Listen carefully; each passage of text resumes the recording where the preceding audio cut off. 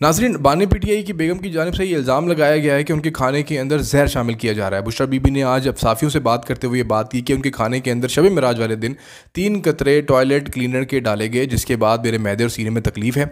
मेरी आँखों में सूजन है, मेरे ज़बान पर छाले निकल आए मुझे खाना पीना जो है वो कड़वा लगता है, जिसके बायस हो सकता है कि मुझे स्लो पॉइजनिंग दी जा रही है और मुझे जान से मारने की कोशिश की जा रही है।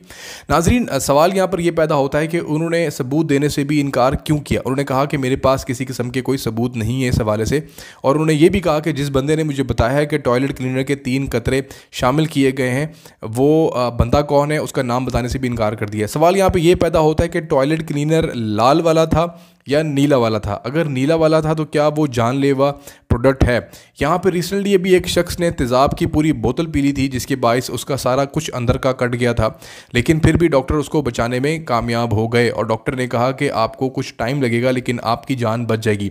तो नाजरीन, क्या टॉयलेट क्लीनर के महज तीन कतरे किसी की जान ले सकते हैं?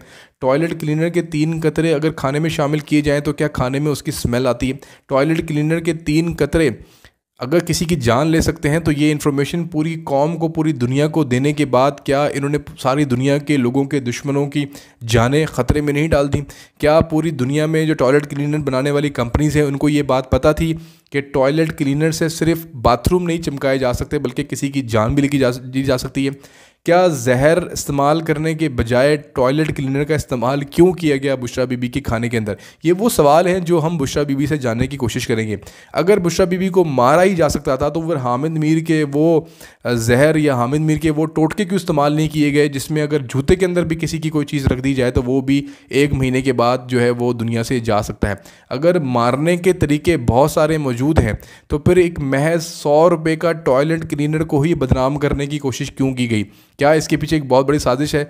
ये इस सवाल का जवाब जो है वो बुशरा बीबी खुद बताएँगी, लेकिन मैं आपको बताता चलूँ कि टॉयलेट क्लीनर के तीन कसरे से किसी की जान नहीं ली जा सकती। अगर किसी ने गलती से टॉयलेट क्लीनर का अगर एक चम्मच भी पी लिया तो मेरे ख्याल से उसका फौरी तिबी इमदाद अगर उसको दी जाए तो वो भी उसकी भी जान बच सकती है, लेकिन तीन कतरे से किसी की जान नहीं जा सकती। शुक्रिया।